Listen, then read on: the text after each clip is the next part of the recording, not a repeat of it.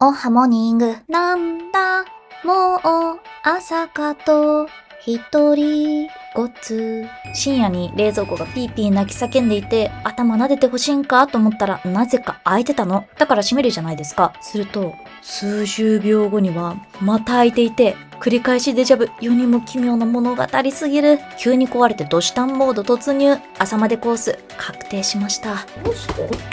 ガムテープで固定しても黙らなくて、夜通し苦戦だった。夜泣きってこんな感じなんですかね。焼けたパンにバター、無理無理はせずに、一人、ごつ、ごつ盛り、ワンタン醤油ラーメンをいただきます。お疲れ様です。グビグビっと。あー、きんと冷えてる。カンカンが、あー、なんか冷たくて、おしいビールで体内時間の調整をしたら、ごつっていきます。つるぽつるぽ。心も胃袋もほぐれていく。麺だけではなく、お肉が詰まったワンタン、小さな茶色い謎肉、コーンやネギが寄り添ってくれて、孤独を温めてくれるカップラーメンになっています。あっさりな醤油ラーメンが爽やかおはようございますしてくると思ったら、思った以上に後味は体育会系がっつり味。燃えろ熱血すする魂押すって感じです。たすらすすって口の中がジャンクギトギトになったところで、応援の代わりにビールを送るそんでもって応援には欠かせない旗の準備をしないと、ジャンクな声援がじゅんわり染み込んだワンタン。ペラペラのチャーシューが1枚入っているよりも、もっちりとしたワンタンがいくつか入ってる方が圧倒的に好きです。ここらで缶は9台。ガチャガチャ回したのまたまた。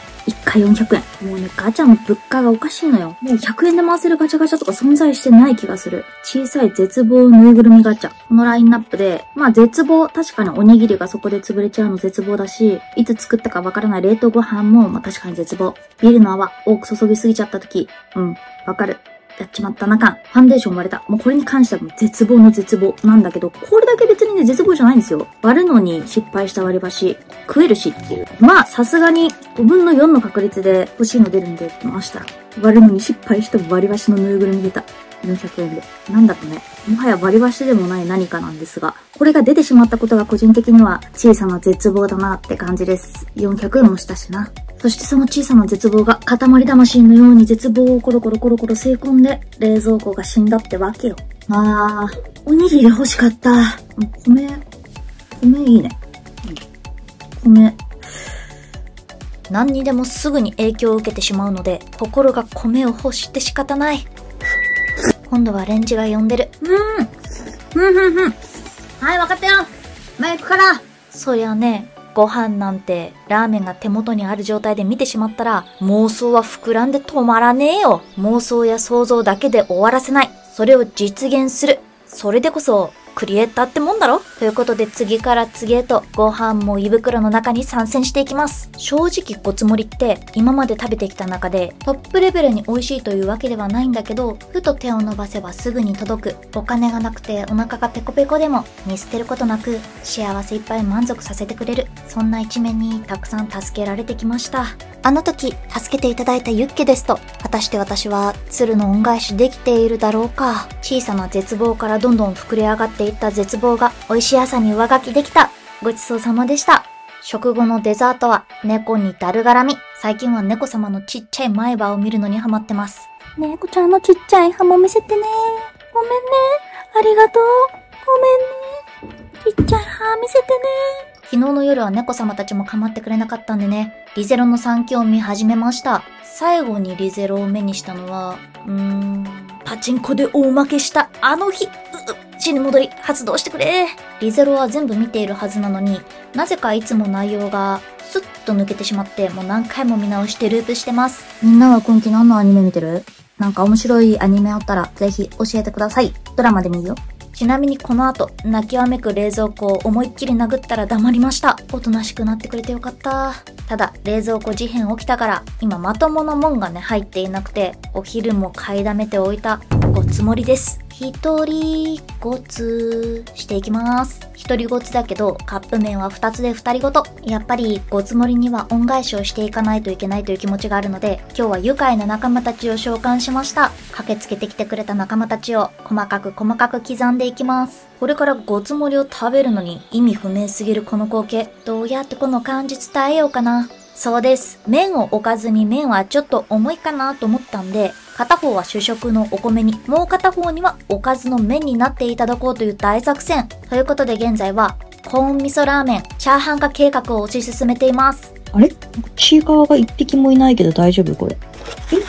さっきまでいなかったのに急に出てきた。そのまま食べるとさ、またしてもごつ盛りのデジャブになっちゃうからね。あれ？もしかしてまたループしちゃってるって思わないように、一旦セーブポイントを作っておこう。やばい、チーカーが消えちゃった、こんなに。リゼロの主人公、スバルくんみたいに、散々痛い目にあった記憶を引き継いで、死に戻りループっていうのはしたくないけど、やっぱり何度も繰り返すなら、自分は記憶を保持していたいなと思う派です。今はごつ盛りループの渦中にいるんで、美味しい記憶引き継ぎ、全然 OK です。アルコールに筋肉を分解されすぎて、腕力があまりにもなくうまく中華鍋を使いこなせなかった結果、あまたなるお米の犠牲者が出てしまいましたが、なんとか完成しましたチャーハンというか、そば飯みたいになっちゃった。お昼はごつ盛り塩焼きそばと、坂村に恩返しされた世界線のごつ盛りチャーハン。そしてあの世の味がするという、ァンタの期間限定ビートルジュース味。ファンタが不気味になってたから買ったんだけど、ビートルジュース。あの世の美味しさ味らしいよ。あんん？何これ？リポディみたいなエナジードリンクっていうのかな？こう体にいいんだか悪いんだかよくわかんないような不思議なあの世の味がしてます。そしてあの世にはカロリーなど存在しないんでしょうか？これ結構ちゃんとしっかり甘さがあるのに、カロリーゼロで、惜しい塩焼きそば、液体調味料みたいなのかけたんですけど、これで大丈夫なのみたいな見た目してる。スカップ麺みたいな。まあ一応スパイス入れます。スパイスをかけたら急にペペロンチーノの顔してきました。早速ズルポズルポ。これ、カップ焼きそばじゃなくて、スパゲッティです。ペペロンチーノのような、アーリオオーリオのような、というかアーリオオーリオってなんだっけ？とにかくニンニクがぶわー香っているんだけど、意外とあっさり食べることができる。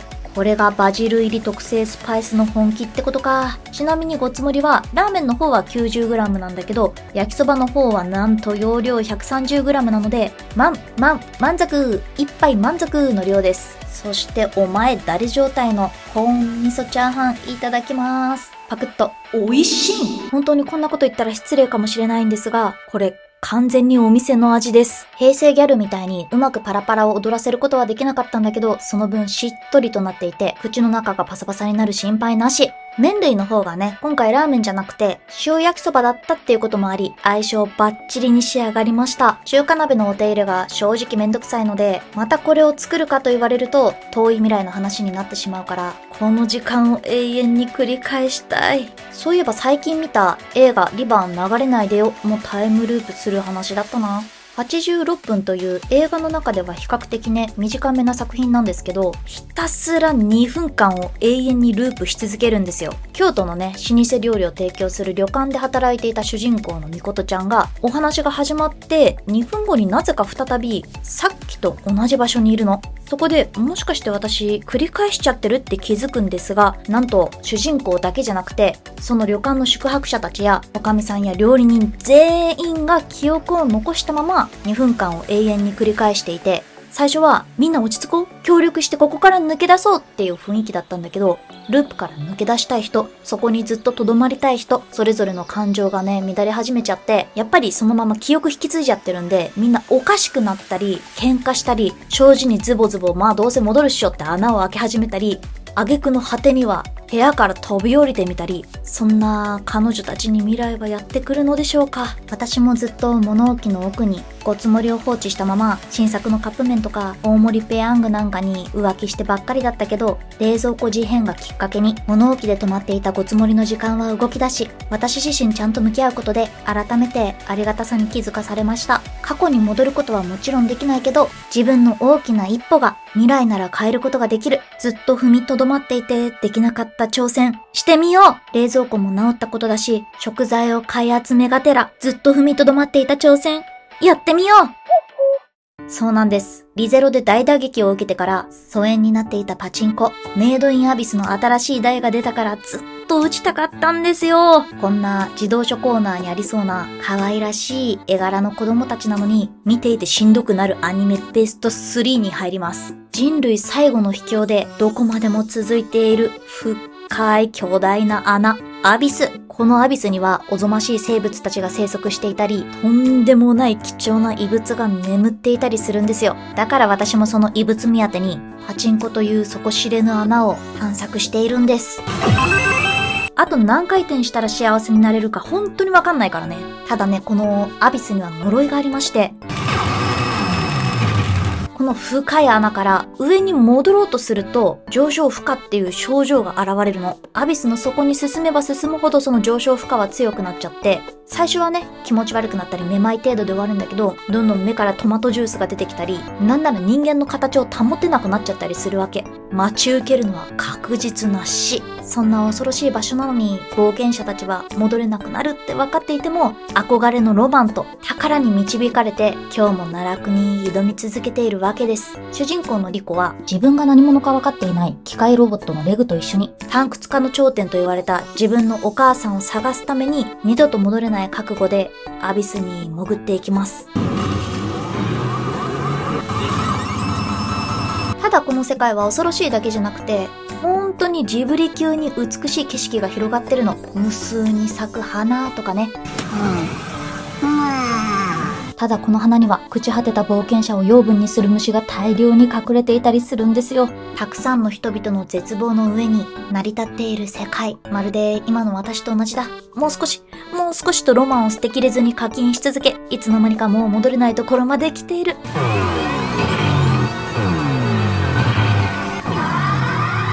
上昇負荷がかかって椅子から離れられないの。もう立派な養分です。リコのように恐れず進め。手を伸ばしてくれるレグは私にはいない。うぅ、これがアビスの呪いか。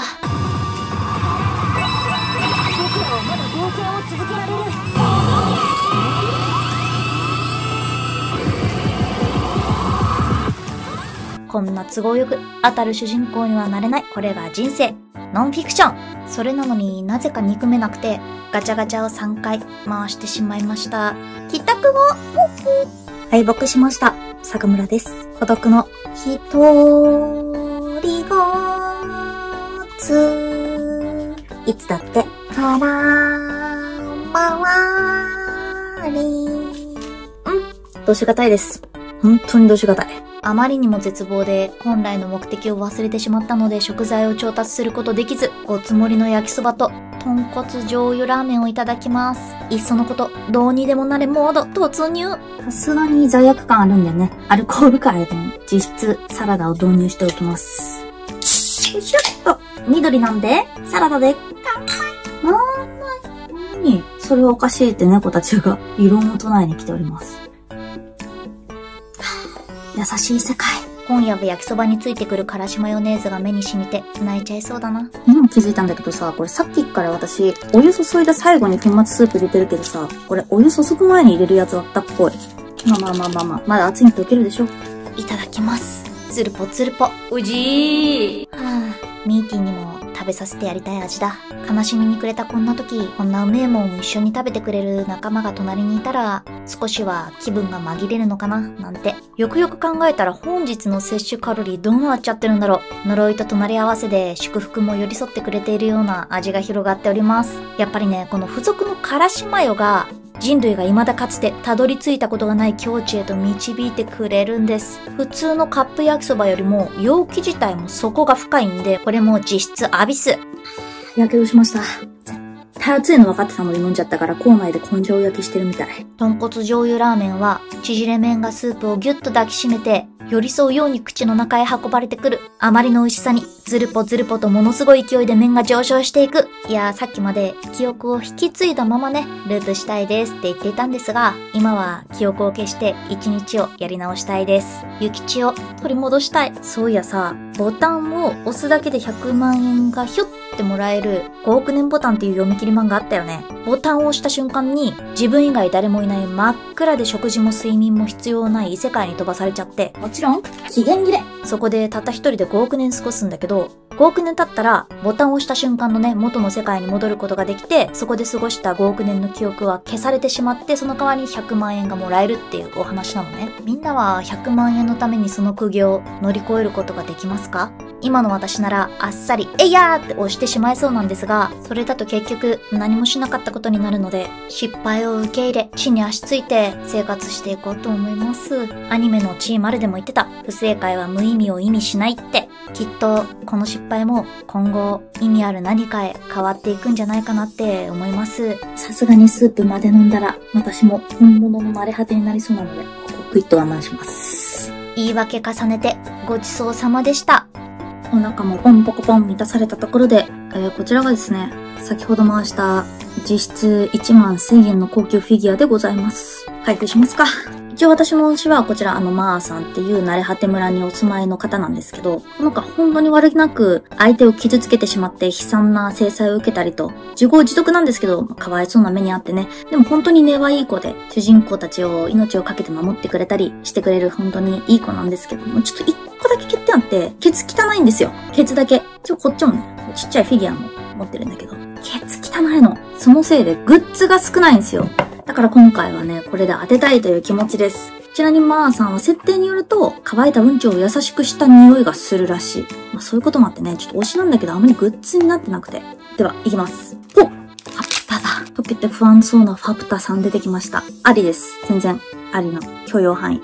続けて、ほい。なーこと、ななっち出ました。全身もふもふ、獣にはたまらないお二方ですね。最後、ラララララララ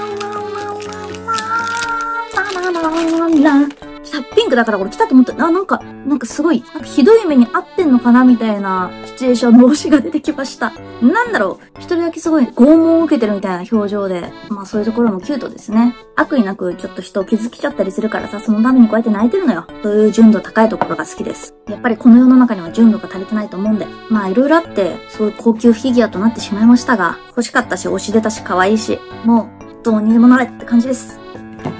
おしまい本日もご視聴ありがとうございました。ちいかわのさ、8割が歌ってる、ひとりごつって、あれごつ盛りの歌ではないんですよね。勝手にごつ盛りだと勘違いしておりました。学生時代は大丈夫だったのに、この年になってカップ麺をたらふく食べていたら、次の日結構な胸焼けと胃もたれに襲われたので、月日が流れるのって早いなぁともう今年も終わりますしね、哀愁のようなものを感じております。みんなはごつ盛りの何味が好き？まだまだ食べてない味たくさんあるんで、よかったらコメント欄で教えてください。ほんじゃ？バイバイ。